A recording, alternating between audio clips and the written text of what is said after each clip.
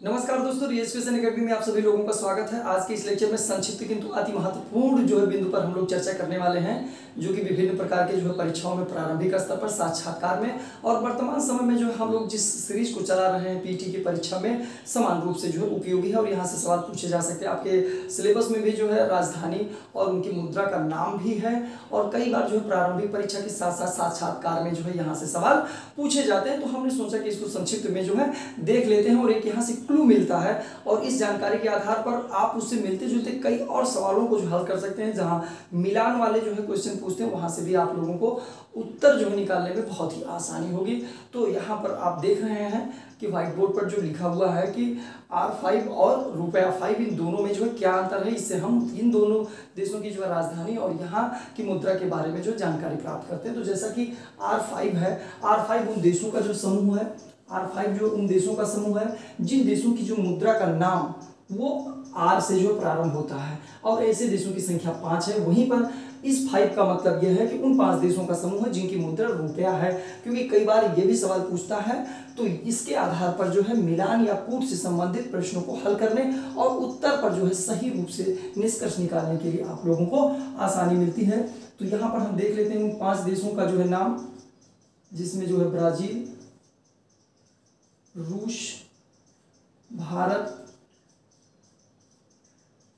चीन और दक्षिणी अफ्रीका। ये जो है पाँच देश हैं। ये पाँच देश हैं। इसमें ब्राज़ील का जो है, वो रियल है, मुद्रा का नाम। और रूस का जो है, रूबल है। भारत का रुपया है। चीन का रेनमिनबी। यद्यपि इसका एक नाम जो है, युवान भी है। दक्षिण अफ्रीका का रैंड। अब यहाँ पर आप देख रहे हैं कि इन पाँचों देशों से संबंधित जो इनकी मुद्रा है, वो आर से ही प्रारंभ होता है। इसलिए इन पाँचों देशों के जो है, समूह को हम लोग आर फाइव के नाम से जाना जाता है। ये आर फाइव का इंपॉर्टेंस आपकी जीएस के पॉइंट ऑफ़ व्यू से बहुत ही महत्वपूर्ण है। जब हम सिविल सेवा परीक्षा के दूसरे चरण में मुख्य परीक्षा में टिप्पणी या इससे संबंधित जो है, लेखन से संबंधित जो है, सवाल का उत्तर देते हैं, क्योंकि वहाँ पे पचास शब्द और सौ शब्द, डेढ़ सौ शब्दों में टिप्पणी आती है। तो वहाँ पर ऐसे भी जो है, ग्रुप का नाम दे देता है, जिस पर आपको टिप्पणी लिखना होता है तो आप इनके आधार पर इसको लिख सकते हैं। ये तो एक तथ्यात्मक जानकारी, इन देशों की राजधानी को भी हम थोड़ा सा यहाँ पर कवर करने का प्रयास करें तो ब्राज़ील की राजधानी जो है आपका, वो ब्राजीलिया है। ब्राज़ील की राजधानी ब्राजीलिया है। रू, रूस की राजधानी जो है मास्को है। इसी तरीके से भारत की जो राजधानी है, वो दिल्ली आप लोगों को पता ही है, उसमें बताने की ज़रूरत नहीं है। और इसी तरीके से चाइना की जो राजधानी है, वो बीजिंग है। बीजिंग है। और दक्षिणी अफ्रीका की राजधानी को थोड़ा सा हम लोग जो है समझने का प्रयास करेंगे कि कुछ ऐसे दुनिया में देश हैं जहाँ पे अलग अलग कार्यों के लिए अलग अलग मुख्यालय बना दिया गया है। इसीलिए वहाँ पर जो है न्यायिक विधायी और प्रशासनिक क्षेत्रों के लिए अलग अलग राजधानी को जो है स्वीकार किया गया है। तो सामान्यतया जो है, इसकी राजधानी प्रिटोरिया है।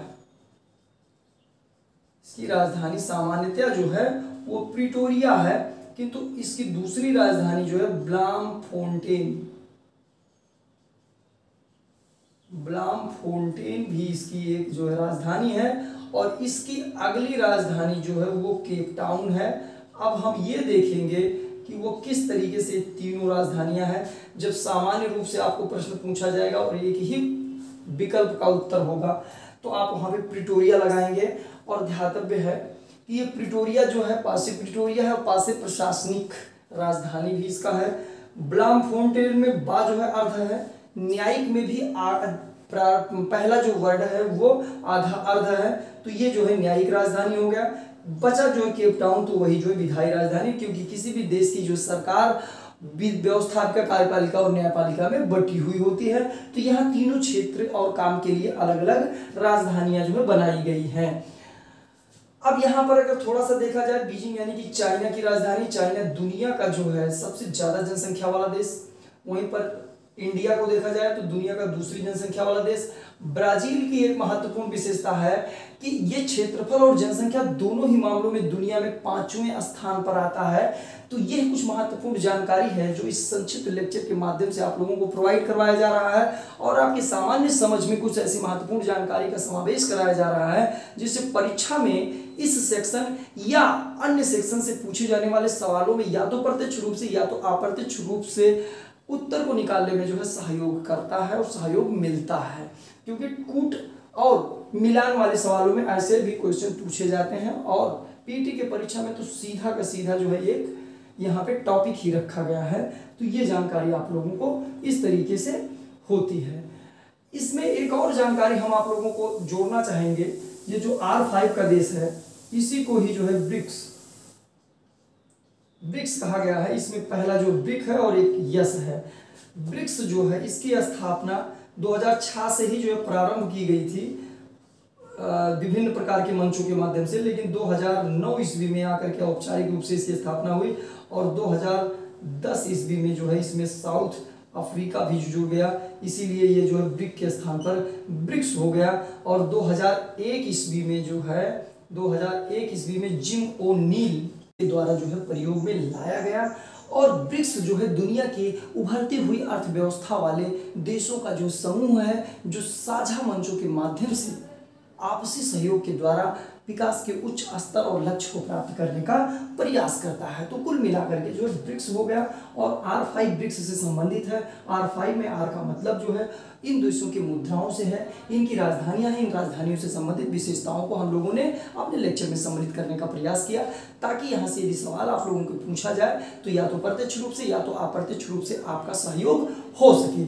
और यहाँ पर दूसरी तरफ़ जो है रुपए फाइव का तात्पर्य उन देशों के जो समूह से है, जहाँ की मुद्रा रुपया से मिलता जुलता है और इन देशों के जो समूह को भी जो है रुपए फाइव के नाम से जाना जाता है। इसमें भारत, नेपाल, पाकिस्तान, श्रीलंका और इंडोनेशिया को जो शामिल किया जाता है। ये सभी देश एशिया के देश हैं और कहीं ना कहीं भारत के पड़ोसी देशों के रूप में भी आते हैं।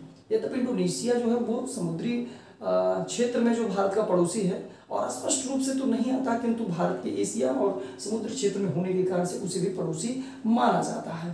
तो भारत में यदि स्पष्ट रूप से पड़ोसी देशों की संख्या को देखा जाए तो उनकी संख्या नौ है। हालाँकि इस पर भी एक लेक्चर अपलोड किया गया आप लोगों के लिए, जहाँ से आपको बहुत अच्छी और स्पष्ट रूप से जानकारी जो प्राप्त होगी। तो यहाँ पर आज के लेक्चर में हम लोगों ने आर फाइव और रूपे फाइव के बीच में जो है, जो भी अंतर है, जो भी विशेषताएँ हैं उसको सम्मिलित करने का प्रयास किया ताकि यहाँ से पूछे जाने वाले न केवल प्रारंभिक स्तर, बल्कि मुख्य परीक्षा की टिप्पणी यूपी ट्रिपल एस और इंटरव्यू में पूछे जाने वाले सवालों का आप जो है आसानी से उत्तर दे सकें और अच्छे मार्क्स प्राप्त करके अंतिम रूप से सफलता की सूची में अपने नाम को सम्मिलित करवा सकें। तो आज के संक्षिप्त वीडियो में बस इतना ही। पुनः अगले लेक्चर में एक नई जानकारी के साथ आपसे मिलेंगे। तब तक के लिए नमस्कार।